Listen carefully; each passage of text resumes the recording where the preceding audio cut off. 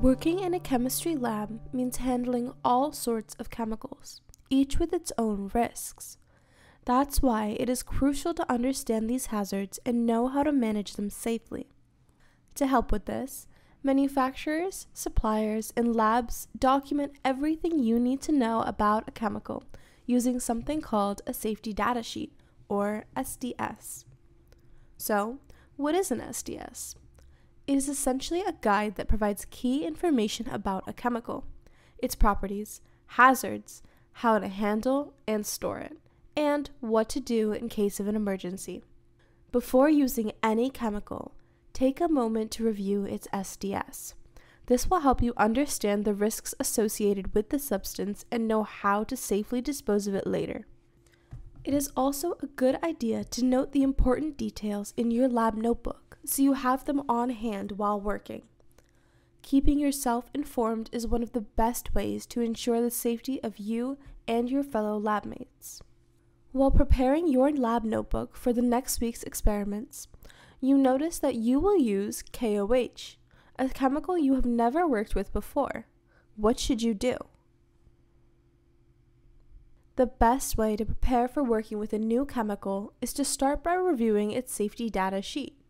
This will help you get familiar with the chemical hazards and the proper handling procedures before you even step into the lab. If you have any questions or concerns, don't hesitate to double check with your instructor during the lab. Now, let's talk about how to look for the SDS for a given chemical compound. Most chemical manufacturers have an online database that compile SDSs for various chemicals. Some widely used databases include those of Fisher Scientific and Sigma Aldrich. You can access these resources through this website. To search for the SDS of the target chemical, simply input its name in the search bar. Since manufacturers often produce multiple sizes and purities of potassium hydroxide, you might see a long list of results. However, most will be linked to the same safety data sheet. Just click on one and confirm it's the right SDS by checking the identification section. In this case, we have potassium hydroxide, which is exactly what we need to look for.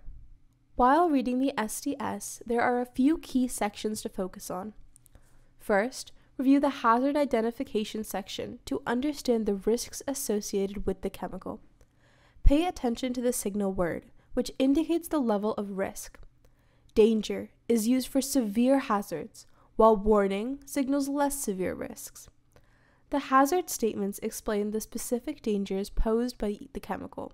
For potassium hydroxide, the signal word is danger, indicating a high hazard level, and it can cause severe skin burns and eye damage. Next, we should review the first aid measures section. While many chemical exposures follow general first aid steps, like rinsing the skin under running water for 15 minutes. Some chemicals require special measures. For example, if potassium hydroxide comes into contact with your skin, you need to wash it off immediately with soap and water. Since soap isn't always recommended for other chemical exposures, this is an important detail to note. Why is it important to be informed of the first aid measure before working with the chemical? Select all that apply. The next section to look at is the handling and storage section, which includes important safety reminders. For example, potassium hydroxide must be handled with full PPE and in a chemical fume hood.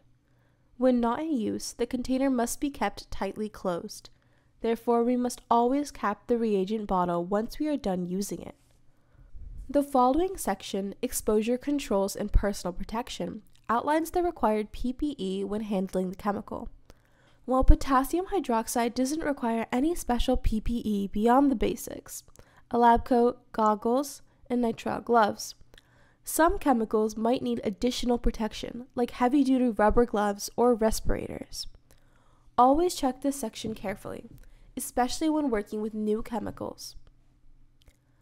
The last section we should check is the disposal considerations, which tells us how to safely dispose of the chemical. If it is considered as hazardous waste, like potassium hydroxide, then it should never be poured down the drain. We should follow the instruction and dispose of it in the designated waste container.